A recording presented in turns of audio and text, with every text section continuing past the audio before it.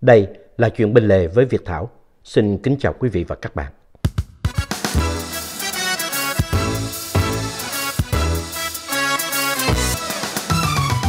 Nè, nói nghe nè.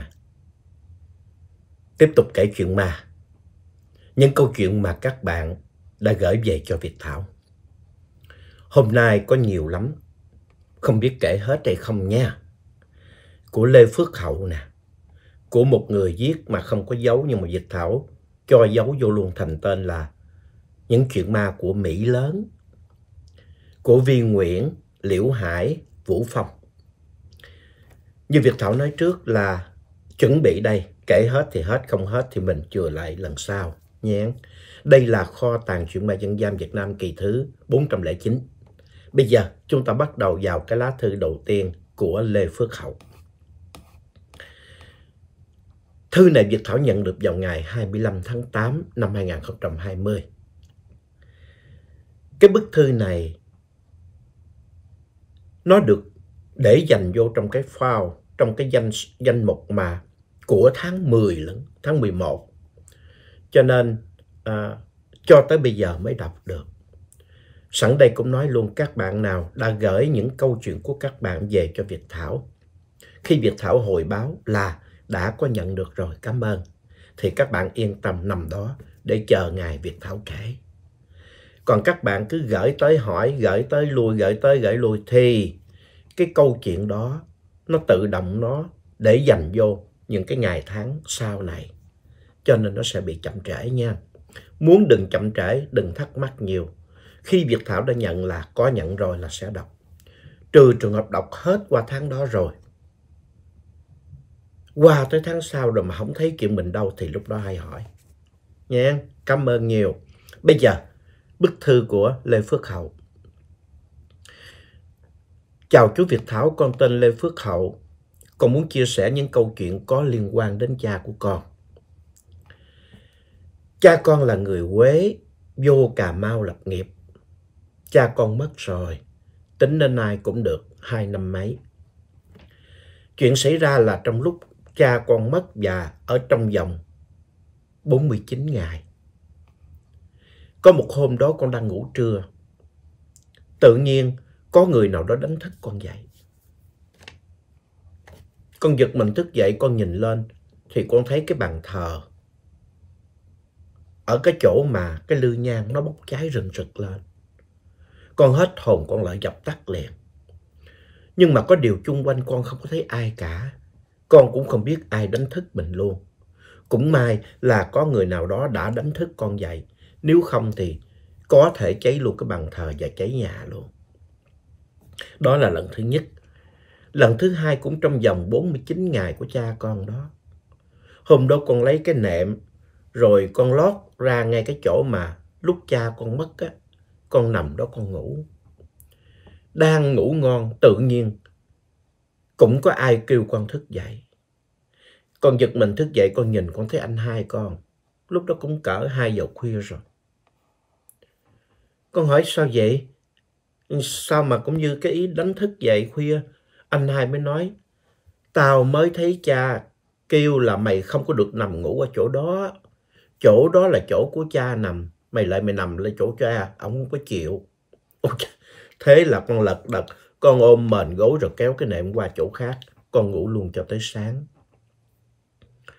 Lần nữa là lần thứ ba cũng vẫn trong 49 ngày của cha con. Đêm đó, con muốn đi chơi mà không dám, sợ anh hai rầy.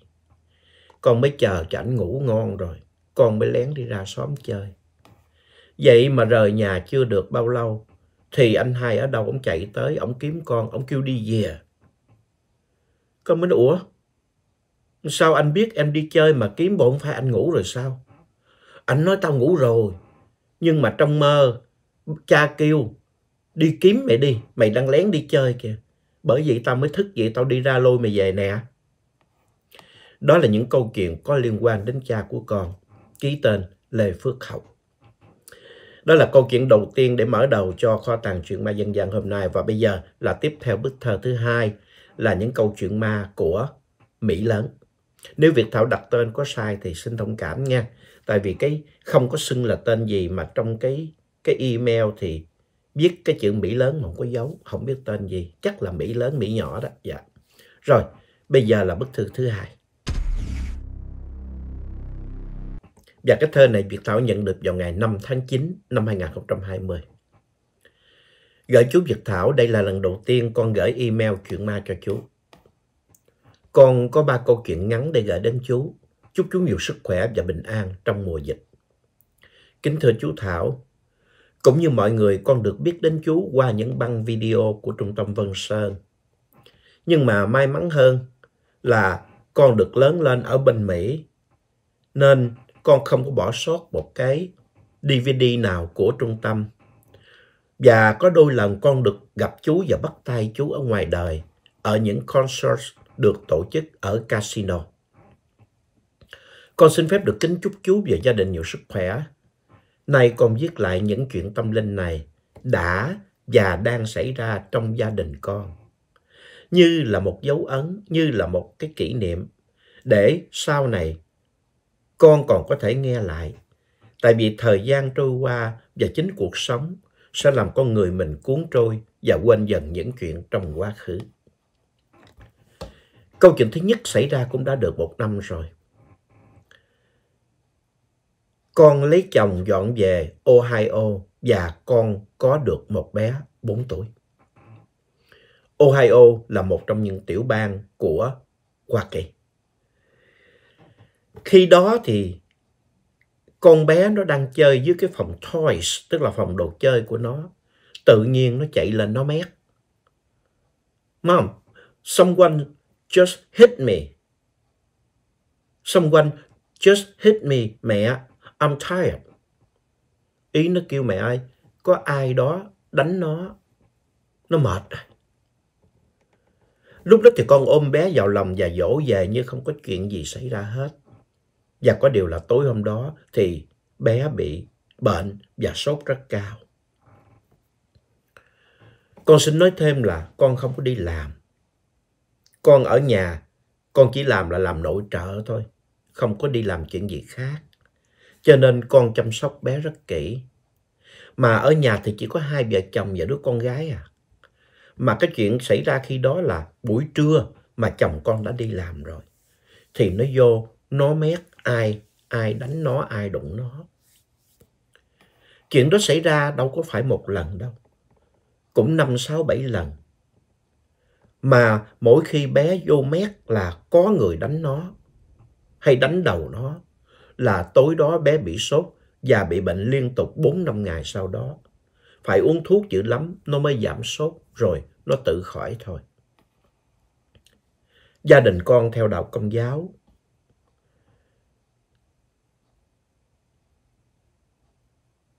Còn gia đình chồng con thì theo Phật giáo và thờ ông bà ở trong nhà. Con có đem chuyện kể mẹ con nghe, thì mẹ con có kêu cứ đi cúng và giái đi. Tại vì trẻ con nó giống rất nhạy và dễ thấy những chuyện mà người lớn chưa chắc là thấy được. Thế là con mới bày mâm cơm và để cho chồng con thực hiện cái việc cúng kiến đó. Từ đó con của con không có bệnh sốt nữa và nó không có nói nào nó bị người nào đánh đầu nó nữa hay đánh nó. Còn câu chuyện thứ hai này con viết gửi cho chú là chuyện trước lễ Labor Day, tức là lễ lao động ở Hoa Kỳ, được 3 ngày. Và cái câu chuyện này xảy ra ở đêm qua tại nhà của con ở Ohio. Lễ uh, Labor Day tức là đầu lao động của Hoa Kỳ vào những ngày 1, 2 tháng uh, tháng 9 nha, tuần lễ đầu tiên đó. Thì cái chuyện đó xảy ra cách đây được mấy ngày à.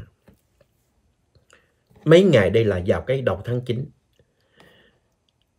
Ba mẹ của con lái xe từ Chicago đi qua Ohio thăm con. Tại vì nó đang trong mùa dịch bệnh ở Mỹ mà. Cho nên mẹ con không có cho con và chồng con chở con gái về thăm. Tại vì bé lúc đó mới có 4 tuổi, nó còn nhỏ lắm. Thôi thì để cho ông bà đi qua thăm nó. Tối hôm đó thì mẹ ngủ cùng phòng với con và bé. Còn chồng con và ba con ngủ ở hai phòng bên cạnh. Đêm đó đang ngủ, mẹ con bị ai đó cầm hai cái chân bà dở lên rồi liệng mạnh xuống giường. Ôi trời, bà giật mình. Dòm không thấy ai hết, bà mới ngồi dậy bà đọc kinh. Có điều là buổi sáng đó, khi vừa đến nhà con, là theo thói quen mẹ con cũng đã vào phòng thờ, thờ cúng ông bà đó, và cũng đã xin phép ông bà để được ở lại chơi vài ngày thăm con thăm cháu. Con xin nói thêm ở đây là về gia đình con, tuy là đạo công giáo, nhưng mà gia đình con luôn luôn lúc nào cũng tin là có chuyện tâm linh, có thờ có kiên, có thờ có thiên mà có kiên có lành. Cho nên khi đi đến đâu thì ba mẹ con cũng xin và khấn hết. Khi bị liễn cái chân xuống giường như vậy, lúc đó mẹ sợ lắm. Rưng nhưng mà cũng phải ngủ thôi. Vậy là mẹ nằm xuống ngủ tiếp. Mẹ nằm một chút, ngủ cũng không có lâu lắm. Con nghe cái tiếng của mẹ ú ớ.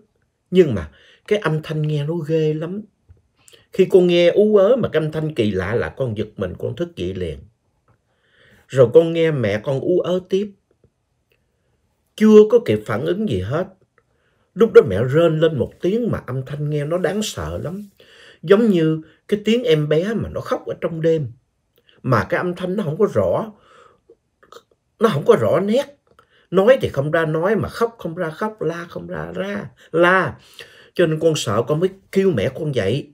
Mẹ, mẹ, mẹ ơi, mẹ, mẹ. Lúc đó mẹ mới mở mắt tròn tỉnh. Lúc đó thì trán của mẹ lấm tấm mồ hôi hết rồi. Mặc dù trong nhà con á, máy lạnh lúc nào cũng mở, cũng cỡ 65 độ ép hết. Thường thường ở trong văn phòng ta làm việc ta mở 70 độ ép là được rồi, còn cái này bỏ mở tới 65 độ ép Mình ngủ trong nhà mà có lạnh thì đắp mền. Vậy mà mẹ lắm tấm mồ hôi hết. Nghe muốn nghe luôn cái tiếng tim đập của mẹ rất to. Mẹ kể là lần đầu á, khi mà có ai đó cầm chân mẹ dơ lên đập xuống một cái là mẹ đã biết rồi.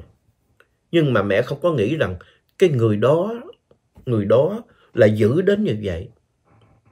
Hắn muốn đuổi mẹ đi. Hắn nói là hắn không có muốn mẹ nằm đây rồi mới ra sức để kéo mẹ đi. Lúc đó thì tay mẹ cố bám chặt vào thành giường và mẹ lúc đó thì miệng không có ngừng kêu con. Mẹ là An ơi, An ơi, cứu mẹ An ơi. Mà cái cái tiếng gọi An ơi cứu mẹ đó mà nó không thoát ra được mà nghe trong miệng u ớ thành ra những cái âm thanh mà con nghe rất là ghê sợ đó. Thì ra lúc đó mẹ đang kêu con về dùng dãy để thoát. Thế là đêm đó hai mẹ con nằm bên nhau, nhưng chẳng có dám một lần chọt mắt nữa.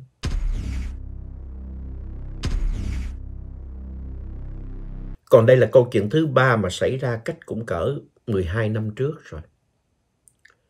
Lúc đó thì con được hơn 22 tuổi. Khi đó cô chú của con vừa mới mua được một căn nhà lớn ở thành phố Morton Grove ở tiểu bang Illinois. Tiểu bang Illinois ở gần gần phía giữa Trung và Đông Bắc Hoa Kỳ. Ở nơi đó có cái thành phố Chicago rất nổi tiếng mà mọi người biết đó. Thì căn nhà này nằm ngay trên đường Euclid.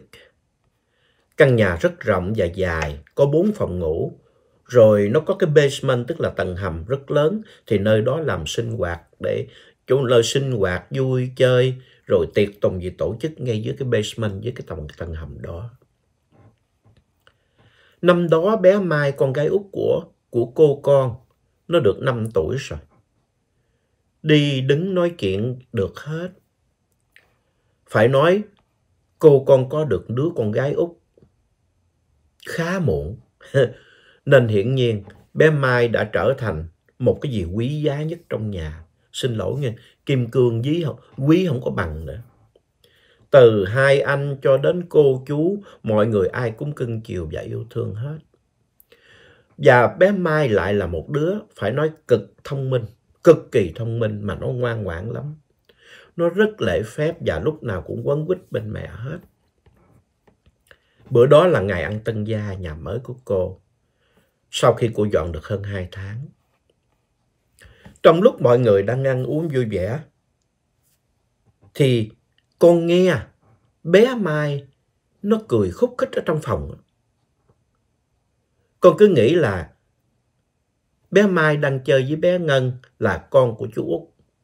Thế là con chạy vô để chơi cùng với hai em. Thiệt là lạ. Khi con bước chân vô phòng, con thấy bé Mai đang ngồi trên giường. Nó quay lưng lại đối diện với cửa phòng, cho nên con đi đến là đến sau lưng. Bé Mai không có biết con đang bước vào.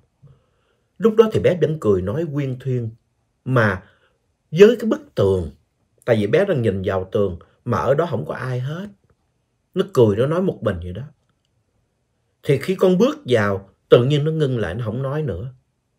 Rồi nó, nó quay người lại, nó nói, Chị An, làm anh Johnny bỏ đi rồi. Nói xong thì nó tuột xuống giường, nó phụng phịu phụng phịu có vẻ giận dỗi nó bỏ ra ngoài trước. còn đứng đó con ngớ ngẩn không hiểu chuyện gì luôn. Johnny là ai? Mà bỏ đi hồi nào? Tại sao mình bước vào mà đã làm cho Johnny bỏ đi?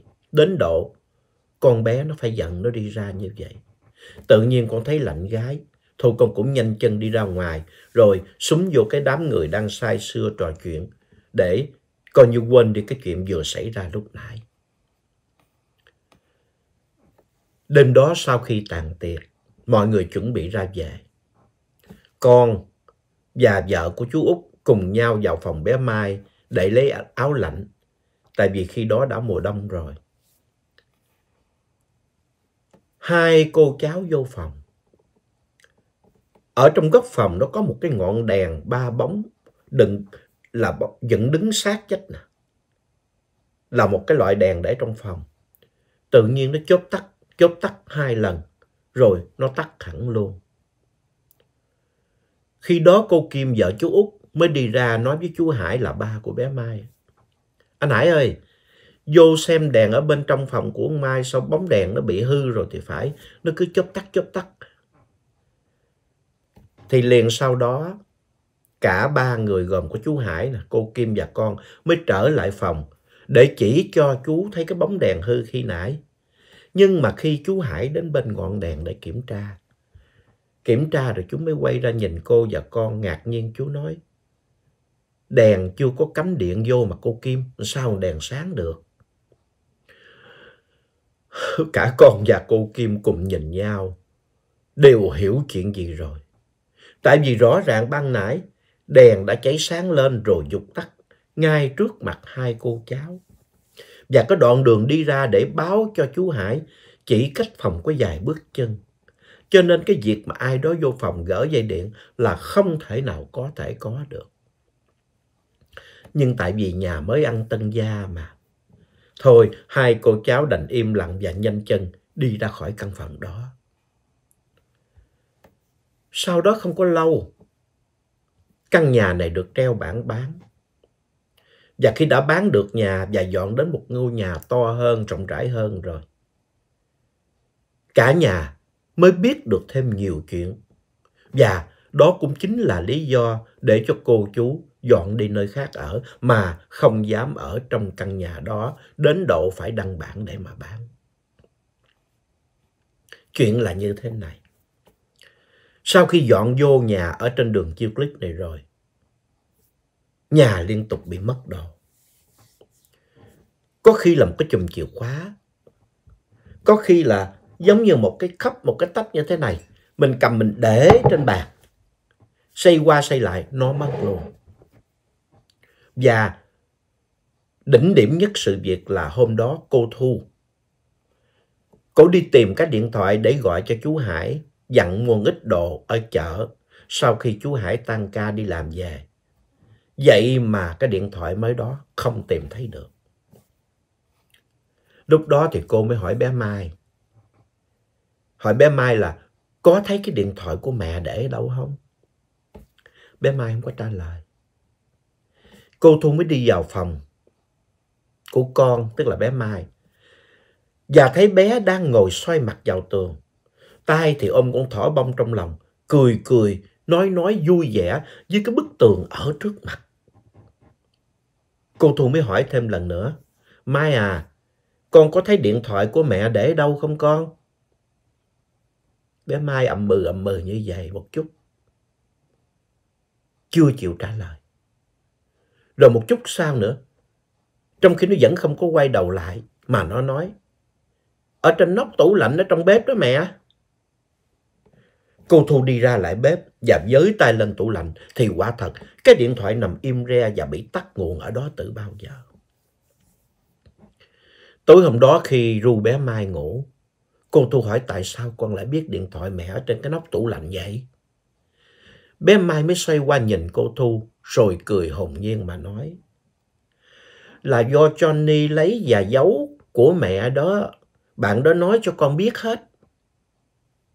Quá đổi ngạc nhiên luôn, cô Thu im lặng chứ không nói được tiếng nào. Hôm sau đó thì cô Thu đem chuyện và kể với chú Hải. Chú mới để ý và thấy bé Mai thường xuyên trò chuyện một mình trong phòng và miệng thì luôn nhắc đến người bạn tên là Johnny.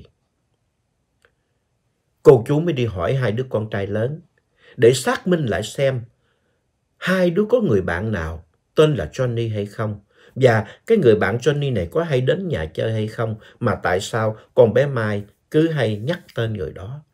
Nhưng cả hai người anh đều khẳng định là không có bạn nào tên Johnny cả.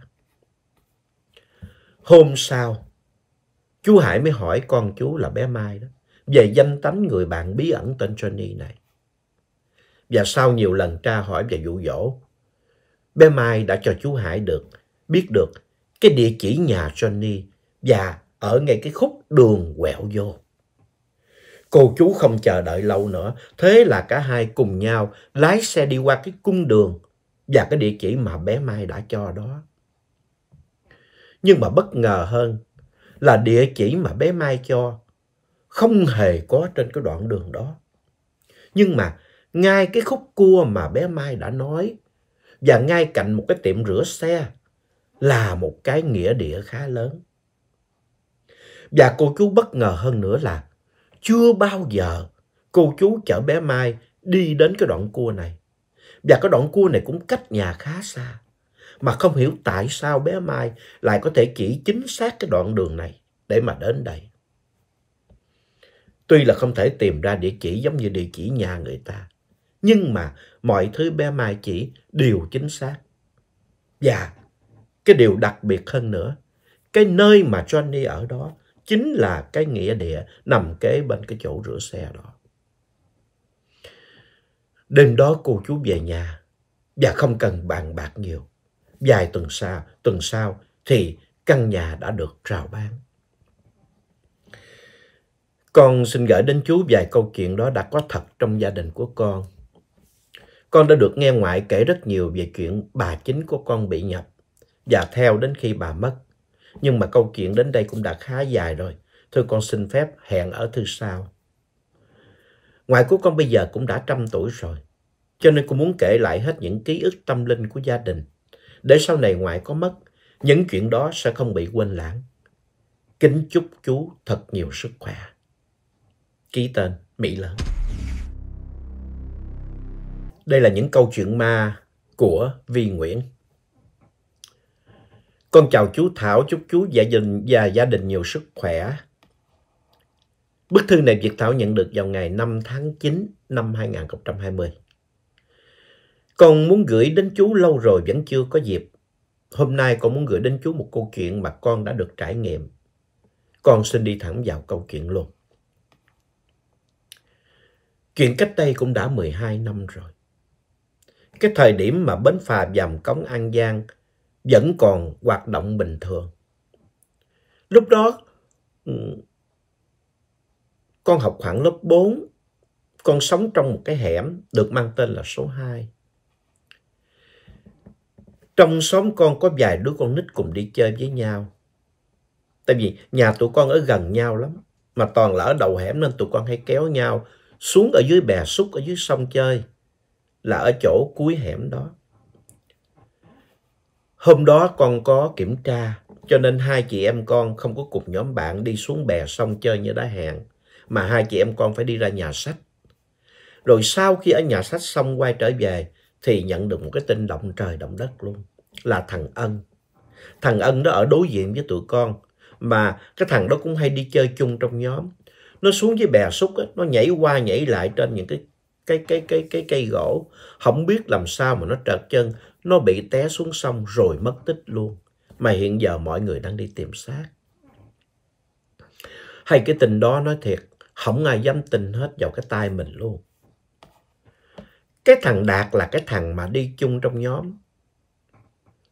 Con thấy nó khóc. Mà nói thiệt con nhìn con tưởng nó khóc con mắt nó lòi ra luôn. Tại vì lúc mà còn đi học, thằng Đạt với thằng Ân này đã rủ nhau đi xóm dưới, xóm để chơi. Tại vì hai đứa không có đứa nào biết bơi hết. Mà nó bày đặt lên bè nhảy qua nhảy lại sau đó mà thằng Ân nó mới rớt xuống nước. Thằng Đạt cũng không biết bơi. Nó thấy thằng Ân té xuống nước. Nó không biết làm sao. Nó chỉ la lên không à mà cũng không thấy ai, nó mới chạy lên bờ để nó kêu người ta cứu. Khi hay tin thì mọi người mới rần rần chạy xuống cứu, thì không kịp nữa, thằng Ân nó bị chìm hay bị trôi đâu mất tiêu rồi. Thế là cả ngày hôm đó, ai cũng lao đầu vô để tìm xác thằng Ân, nhưng mà tìm không có thấy. Tìm cho tới tối, cho tới nửa đêm, khi tối mọi người cùng nhau cắm cờ trắng mà chạy trên sông để rà soát kiếm thằng Ân, cũng không có gặp nó. Qua tới ngày hôm sau, xế rồi, tự nhiên ở dưới chùa, có người điện lên cho biết là có thầy ma. Kêu xuống đây để mà nhận xác. Mọi người nghe tin mới kéo xuống chùa. Từ đằng xa, đã nhìn thấy cái xác đó, cái đích đã, đã trồi lên rồi. Người ta mới nói với nhau là, hệ con gái đó, thì cái đầu, nổi cái đầu lên, con trai thì nổi cái đích lên như vậy đây là con trai, chắc có thể thằng Ân rồi. Mẹ nó vừa bơi lại, cái xác lật ngửa nó lên, thì máu ở đâu trong họng của nó ào ào trào ra ghê lắm, đúng là thằng Ân. Một con mắt của nó ở một bên đó, thì lọt ra ngoài, lưỡi của nó thì cắn lại. Thịt trên người nó sưng xỉa lên hết. Lúc đó làm sao bây giờ? Chỉ có cách là dùng dây mà cột nó lại rồi mới kéo nó về thôi. Ở trong xóm có ông Dũng nó cũng lớn tuổi rồi. Ông không có sợ, ông không có gốm, ông không có ghê gì hết. Ông mới đứng ra để giúp tắm rửa cho thằng Ân. Sau đó mới đem nó đi mai táng. Và sau cái đêm mai táng đó, hầu như đêm nào nó cũng về.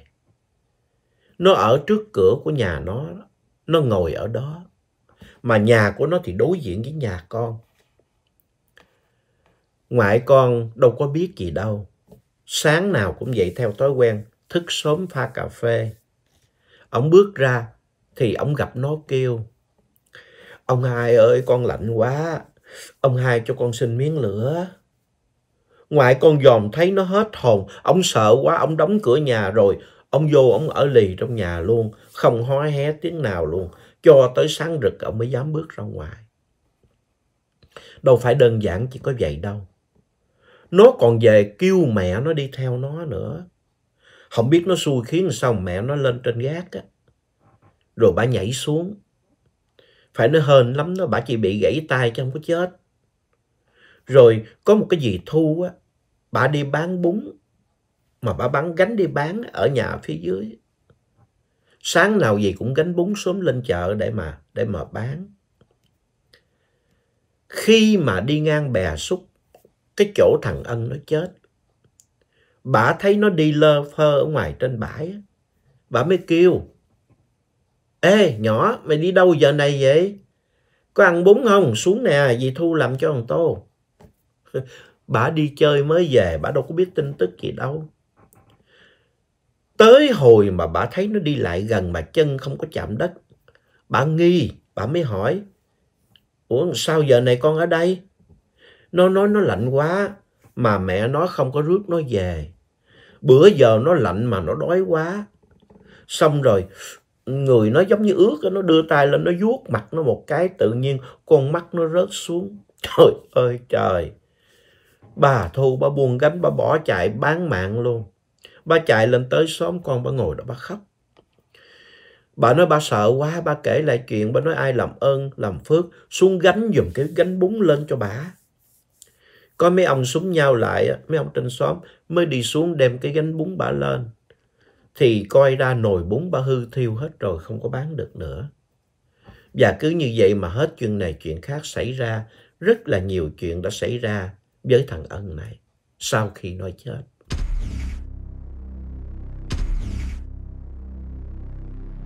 Còn cái câu chuyện này xảy ra cách đây cũng khá lâu rồi. Lúc đó con mới vừa lên 6, lên 7. Có cái cô đó tên là Út. Cổ là bà con với con nhưng mà cũng xa lắm chứ không có gần. Cô út này có bệnh cho nên cổ có cái tật. Hằng ngày đều đi bán vé số hết. Mà dù nhà già nhà rất là giàu có chứ không phải nghèo nha. Cho dù nhà giàu có có tiền bạc dư giả, sống không cần làm mà. Nhưng mà cô không có gì vậy mà ở không ăn đâu. Cô chỉ có một cái tội là Cổ muốn chồng quá mà không có được. Tại vì cổ bị tật nguyền, đâu có ai chịu lấy cổ. Nhà cổ thương cổ quá, cho nên tìm thấy có một chàng sinh viên đó nghèo quá, đang cần tiền để mà lo cho gia đình. Mới bỏ ra một số tiền cho người sinh viên đó với cái điều kiện là lấy cô út này làm làm vợ.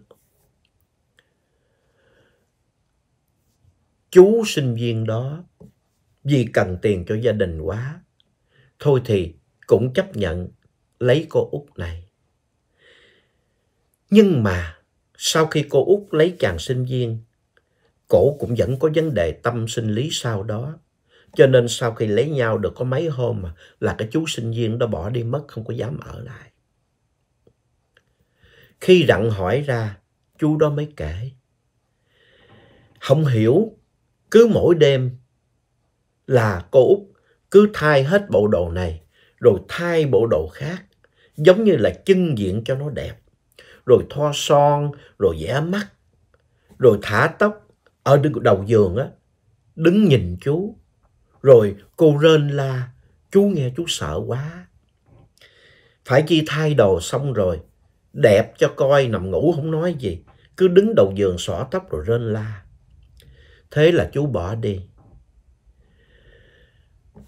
Không lâu sau cái thời gian chú bỏ đi, có một hôm cô út ngồi dưới mé sông cô giặt đồ, rồi cô tắm rửa như hàng ngày. Tự dưng cô út bị lên cái cơn co giật, cô mới té xuống sông đó. Nhà cô đâu có hay biết gì đâu. Sau đó thấy sao mà cô út xuống đó tắm giặt gì mà lâu quá không có lên, cho người chạy xuống tìm. Thì thấy cái thao đồ cô rớt kẹt ở trong cái mé cầu mà cái cầu bắt để ngồi ở dưới sông còn cô thì không thấy đâu hết. Nhà cô nhờ mướn người thợ, những người thợ lặn lặn mò khắp nơi tìm vớt không có thấy.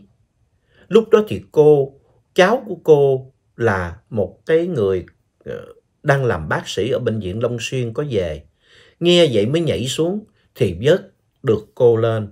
Cái xác cô không có trôi đâu xa, nằm kẹt ngay giữa cái miếng đan cầu. Sau đó thì mọi chuyện diễn biến vẫn bình thường thôi. tang lễ cũng được diễn ra rất là long trọng. Mọi người cũng đưa tiễn đàng hoàng hết. Tự nhiên, mấy tuần sau à, sau khi cô út chết, cái chú sinh viên mà bỏ cô út đi đó, không biết làm sao treo cổ chết và có để lại cái tấm thơ. Đọc trong cái thư đó mới biết cái thư gửi cho mẹ và người yêu. Chú sinh viên đó viết cái đại ý như thế này. Xin lỗi, vì cô út cần cho nên con phải đi. Tạm biệt mẹ và người vợ, anh chưa kịp cưới. Ôi cha ơi, sự việc xảy ra. Có điều, ai cũng trách hết thấy cái chàng sinh viên đó dù rằng bỏ đi nhưng mà đâu có phải phụ tình phụ bạc gì. Tại cô út làm thế ghê quá người ta đâu có dám ở. Rồi mới đi như vậy thì cũng phải có vợ có chồng. Đằng này cô út tàn nhẫn quá. Sao lại nở rủ cái người này? Cái người này có hiếu với cha mẹ mà. Học giỏi, đẹp trai, lịch sự. Đi rủ người ta chết. Ở trong cái tuổi còn quá trẻ như vậy. Rồi bẵng đi một thời gian, mọi chuyện cũng lắng động. Thì tự dưng người ta thấy cô út lại xuất hiện ở trên cây mít. Mỗi khi trời sụp tối mà ngồi đó nhát người ta qua lại. Hễ ai nặng bóng vía đi thì thôi, mà nhẹ nhẹ bóng vía, đi ngang qua chỗ cây mít. Nghe rõ là cô rên rỉ. cậu nói mà như trong rên rỉ vậy. Hầu như 10 người đi qua, 9-10 người đều nghe cái câu giống hệt như nhau. Chồng tao đâu? Trả chồng tao về đây cho tao. Chồng tao đâu? Trả chồng tao về đây cho tao. Cứ cứ rên rỉ mà than như vậy. Rồi người ta kể lại có nhiều lúc cái bàn thờ ở nhà cô tự dưng nó phật lửa lên rồi nó tắt. Ôi cha còn nhiều thứ khó hiểu nữa lắm. Còn một chuyện khác nữa là có lần bà Năm của con á, đi lại nhà chị cô út để gom tiền. Bà sợ, cho nên bà rủ con đi gom tiền với bà. Khi mà hai bà cháu đi xuống tới cái khúc nhà cô út, chưa kịp nhìn vô thôi, là con với bà Năm đều mới nhìn nhau ngầm hỏi tại sao tự dưng lạnh mà rợn ốc hết trơn à. Lúc mà đứng trước cửa nhà của của chị, cô út ở kế bên nhà cô út để mà để mà gom tiền. Lúc đó con thấy rõ ràng cái áo phơi. Khi con đi tới lần đầu xa nhìn thấy rồi là chiếc áo màu trắng. Nhìn một lát, nó thành một cái đống màu. Mà ở đó tối thui đâu có đèn đường gì rọi vô đâu. Mà con cứ tò mò, con nhìn riết vô cái áo đó. Con nhìn một hồi, con thấy cái đầu của cô út chút ngược từ trên cây mít xuống, lè cái lưỡi ra. Mắt thì nhìn chầm chầm vô con. Con muốn kêu bà Năm thôi mình đi về mà con kêu không có được. Lúc đó những á khẩu và con đứng cứng đờ. Cũng hơn sao lúc đó chồng của chị cô út thấy con mà đứng đứng trơ trơ nhìn như vậy, như trời trồng. Có điều là khi con thấy cô út ở trên cây mít mà thòng xuống le lưỡi, trợn mắt nhìn con như vậy thì người con cứng đơ. Mà cái cái ông chồng của chị cô Út á, cũng thấy như con mà ổng không có sao cả. Sẵn cái tách trà trên tay, ổng mới chọi cái tách, nghe một cái bóp một cái bể cái tách, làm con giật mình tỉnh dậy. Lúc đó còn miếu máu, còn khóc, còn kêu bà Năm thôi đi về lẹ lên. Thế là hai bà cháu mau mau dòng về. Phải nói con sợ lắm. Kể từ cái ngày đó đến sau này không bao giờ con dám đi ngang đó hết. Cho tới khi con dời đi chỗ khác thì con cũng chưa lần nào quay lại để đi ngang con đường đó. Thưa chú, câu chuyện của con đến đây hết rồi. Con cảm ơn và chúc chú thật nhiều sức khỏe. Tạm biệt chú. Ký tên Vi Nguyễn. Đó là những câu chuyện của Vi Nguyễn. Bây giờ mình qua tiếp những câu chuyện ma của Liễu Hải. Liễu Hải đây là tên của một người uh, xin được ẩn danh. Việt Thảo đặt cái tên để cho nó có tên trong cái câu chuyện này. Nha. Đó là câu chuyện ma của Liễu Hải. Có điều là bạn nào mà viết câu chuyện này xin là ẩn danh đó, tự nhiên nghe nói câu chuyện của Liễu Hải cái tưởng của anh ta không phải của mình. Nghe câu chuyện có phải của mình không nha. Tại vì nếu Việt Thảo nói ẩn danh cũng không biết là ai. Nhưng mà nếu nói ẩn danh thì người viết nghĩ là có thể của mình. Còn nói Liễu Hải người ta chắc rồi. Ôi cái này của ai? Liễu Hải vậy là cái tên Việt Thảo đặt cho cái người ẩn danh. Bức thư nhận được vào ngày 7 tháng 9 năm 2020. Xin chào chú Việt Thảo. Con xin chú giấu tên dùm con. Con theo dõi chú từ rất lâu rồi. Nhưng hôm nay con mới quyết định gửi cho chú câu chuyện nhỏ của con. Năm nay con đã được 30 tuổi rồi. Hiện con đang sinh sống ở Củ Chi. Con xin được gửi đến chú hai câu chuyện của con. Câu chuyện thứ nhất. Đây có thể nói là lần đầu tiên và cũng là lần duy nhất con nhìn thấy nó ám ảnh theo con một thời gian khá dài. Cái năm mà con được nghỉ hè, chuẩn bị chuyển cấp lên lớp 6. Con được mẹ dẫn về quê dì hai con chơi. Dì hai đây tức là chị của mẹ con, thứ hai vì ở Vĩnh Long, ngay ở dưới mé, mé ở dưới cái chân cầu Ba Càng. Khi về đây thì vào cái dịp trời mưa, cho nên cái đường đi nó trơn trợt lắm. Nhà dì con thì nằm dọn dẹn trong một khu đất, ba phía là có kinh nhỏ hết. Ngay phía trước nhà là một cái hố bom rất là lớn. Có lẽ hồi xưa khi bom nổ ở đó nó tạo thành một cái hố bự đó mà không ai lấp lại rồi nó tạo thành một cái hố trước nhà. Khi ở đó chơi được đến ngày thứ hai thì mới có sự việc xảy ra. Lúc đó tầm giờ, tầm cỡ trưa rồi, khoảng 12 giờ. Mẹ con với dì hai đi hái trái cây ở ngoài vườn. Nhà thì chỉ còn có mình con. Lúc đó con nhìn thấy anh họ của con. Anh họ đây là lớn hơn con có một tuổi à. Từ ngoài ngõ bước vào. Nhưng mà lần này nhìn anh con thấy rất lạ. Anh không có nói là uh, uh, chào hỏi hay là gặp con mà gì cả. Chỉ có ông đi vô thôi. Rồi ông lấy cái nôm. Ông bước ra phía kênh nước ở trước nhà. Con thấy vậy con phải chạy theo con hỏi. Anh anh đi, anh đi đâu vậy? Anh nói anh đi bắt cá. Con mừng quá con nói anh ơi cho em đi chung với nha. Ừ, đó, anh chỉ ừ vậy thôi. Rồi anh đi. Con mới theo sau. Khi đi ra tới kênh nước trước nhà, anh mới dặn con. Em nhớ nhìn kỹ cái chân anh bước ở đâu thì em bước đúng chỗ đó nha. Nếu không hụt chân té chết à. Con dạ một tiếng rồi, nhìn anh đi. Con không hiểu tại sao lúc con thấy anh đi cái bước chân của anh đi gần như là bước ở trên mặt nước vậy. Con nghĩ chắc có lẽ là ở bên dưới nó có những cái rễ cây ảnh bước lên đó. Mà cái rễ cây nó ở dưới nước. Cho nên mình không thấy. Ảnh biết, anh nhìn thấy. Ảnh bước chỗ nào thì con bước theo chỗ đó. Cứ trên rễ cây đó mà đi. Cho nên con nhìn thấy ảnh cái chân giống như đi trên mặt nước vậy. Nước không thấy đặt đất ở đâu cả. Thế là con bước theo ảnh. Cái bước chân thứ nhất con bước theo đúng. Qua tới bước chân thứ hai thì con bị hụt chân và té xuống kinh nước. Con đâu có biết bơi đâu. Khi con vừa té xuống là con không thấy cái người anh họ của con đâu nữa. Thì con tụm xuống nước luôn. Con dùng dãy một lúc. Mà lúc đó tay con không có bám víu vô được cái gì hết. chung quanh chỉ là nước thôi. Chắc cũng cỡ 30 giây à. Con đang dùng dãy như vậy. Bỗng dưng con nổi lên và con bám được vào một cái rễ cây. Rồi con tự bò lên bờ. Có một điều mà con khó hiểu là con không hiểu tại sao.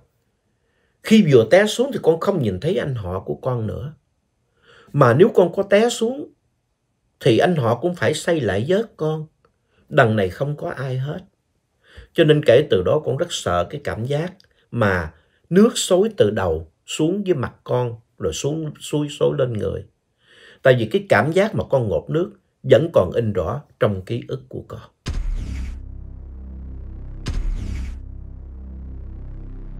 Còn đây là câu chuyện thứ hai. Câu chuyện này đã xảy ra vào năm 2015, lúc đó là khoảng tháng 9. Con được công ty sắp xếp cho con đi học bổ túc kỹ năng ở tỉnh Chiết Giang ở Trung Quốc. Do cái tính cách của con người con hơi khép kín, cho nên dù đi với một nhóm uh, cỡ 10 người, nhưng mà con không có hòa đồng với người ta. Cứ mỗi cuối tuần thì công ty luôn sắp xếp cho nhóm con được đi ra ngoài chơi. Nhưng mà hôm đó con không muốn đi và con quyết định ở lại trong phòng. Nhóm của tụi con thì được sắp xếp ở một cái khu ký túc xá khá rộng. Tụi con ở tận trên tầng 5 mà cái chỗ ký túc xá này không có thang máy để đi. Mà nó cách biệt với những người Trung Quốc ở trong ký túc xá khu đó. Cái tầng năm mà tụi con ở là một cái dãy, nó có rất nhiều phòng. Nhưng mà tụi con chỉ có ở trong ba phòng thôi. Mỗi phòng có bốn người. Và hai bạn nam ở riêng một phòng. Như tổng cộng 10 người chiếm 3 phòng. Hai phòng mỗi phòng 4 người, còn phòng kia hai bạn nam là một phòng. Còn lại nhiều phòng trống lắm không có ở. Rồi mọi người đi chơi và con thì ở lại để ngủ. Con không rõ lúc đó là mấy giờ. Tại vì thời tiết lúc này rất lạnh và không có nắng. Con đang hiu hiu ngủ thì bất chợt, con có cái cảm giác nặng trình trịch đè lên người. Trong khi cửa phòng của con khóa kỹ rồi. Vậy mà con thấy nó mở ra từ từ. Con còn nghe cái tiếng có két, có két, có két. Cái cửa từ từ mở mở ra như vậy. Con chưa từng bị ma đè. Nên con hoàn toàn không biết. Con chỉ cố gắng dùng dãy để tự thoát. Tại vì lúc đó con sợ. Không biết rủi trộm mà nó đột nạt nhập vô nhà. Bây giờ làm sao? Con muốn đứng dậy để đóng cánh cửa đó. Mà đứng dậy không được. Phải dằn co khá lâu tầm cỡ 10 phút thì con mới được thư giãn ra lại. Và mọi thứ bình thường trở lại. Con mới chạy ra để mà kiểm tra cái cửa phòng. Một hồi sau đó suy nghĩ, con mới chợt nhớ đến những cái câu chuyện về bóng đè. Phải nói con không sợ, nhưng mà thật sự ở trong lòng con không có dễ chịu chút nào hết. Đó là cái câu chuyện xảy ra của con ở tại xứ người. Trong lúc con được đi học bổ túc thêm. Đó là hai câu chuyện ngắn mà con kể đến đây đã là hết rồi. Con cảm ơn chú đã gửi câu chuyện của con đến với mọi người. Chúc chú luôn mạnh khỏe và vẫn luôn tỏa sáng trong lòng mọi người. Hai câu chuyện của con chỉ kể cho gia đình và bạn bè, chưa từng gửi thư cho bất cứ trang nào. Cảm ơn chú. Đó là những câu chuyện của à, Liễu Hải. Còn những câu chuyện ma của Vũ Phong cũng khá dài. Dự định kể nhưng mà chắc không kịp rồi. Thôi xin phép để cái kỳ kho tàng chuyện ma dân gian lần tới. Đó là kỳ 410 chúng ta kể. Xin lỗi Vũ Phong nha, nghe tới đây mà thấy chuyện mình chưa kể. cũng sốt ruột. Nhưng mà dài lắm rồi. Việt Thảo kể nữa thì cũng cũng được nhưng mà nó không hay đâu. Để lần tới đi. nhưng Lần tới thì chỉ là ngày mai thôi. Là có chuyện của Vũ Phong kể trước. Nha. Rồi xin được cảm ơn tất cả đã theo dõi và đã lắng nghe những câu chuyện tâm linh mà Việt Thảo kể lại qua những câu chuyện của các bạn gửi về. Nếu không là những chuyện hấp dẫn, như là những cái truyện tiểu thuyết, kinh dị do người ta sáng tác, thì ít nhất nó cũng đem đến các bạn những cái chân thật của những câu chuyện mà do nhiều người kể lại. Và ít ra nó cũng là liều thuốc ngủ để cho mọi người có thể ngủ ngon. Đừng quan tâm đến chuyện nghe câu chuyện bao nhiêu lần. Miễn mà nghe mà ngủ được. Ui cha ơi! Dịch Thảo đã cảm ơn lắm rồi. Mình ngủ mà không cần uống thuốc ngủ mà. Uống thuốc ngủ nó còn sai effect, nó còn ảnh hưởng phụ nha. Còn cái này ngủ mà không có bị ảnh hưởng phụ chút nào. Xin được cảm ơn và hẹn gặp lại qua kho tàng chuyện ma dân gian Việt Nam kỳ tới là kỳ thứ 410 với câu chuyện đầu tiên của Vũ Phong. Thank you and I love you.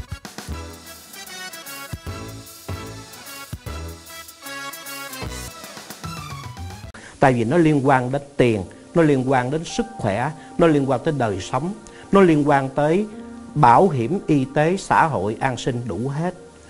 Obamacare có, Medicare có, Medicaid, rồi 401, 401k cũng có, rồi tiền giống như mình à, nghỉ hưu sớm hay là không sớm, muộn hay không muộn. Đôi khi mình có những suy nghĩ và mình cho rằng mình có kiến thức đầy đủ mình hiểu biết được, nhưng chưa chắc. Tôi muốn quý vị hãy dành cái đó cho những người chuyên nghiệp, professional trong ngành nghề này để giải thích cho mình. Quý vị ơi, bảo hiểm sức khỏe và bảo hiểm Obamacare hoặc Medicare có nhiều sự thay đổi lắm cho năm 2021. Quý vị muốn biết chi tiết thêm hoặc có gì không gõ, quý vị xin gọi cho Alicia Châu, điện thoại là 770 454 1182. Nhớ nha, gọi cho Alicia Châu nha. Và tôi biết rằng Alicia còn chia sẻ nhiều hơn cho từng người một khi quý vị gọi điện thoại tới để liên lạc.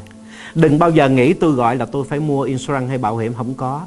Quý vị có thể thắc mắc hỏi giống như người thân trong gia đình để mà có thể giải đáp những thắc mắc của mình.